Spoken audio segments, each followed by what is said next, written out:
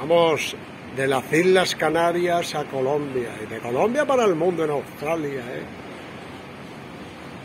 Vamos con estos chiquillos que son amorcillos. Ahí va el palito otra vez.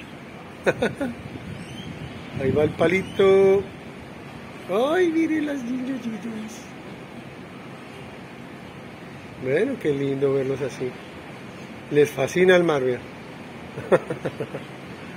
Ahí va el chico con sus perritos, disfrutando de la vida y del amor. Y allá va el otro chico. ¡Ay, qué lindo! Que les lance el palito otra vez.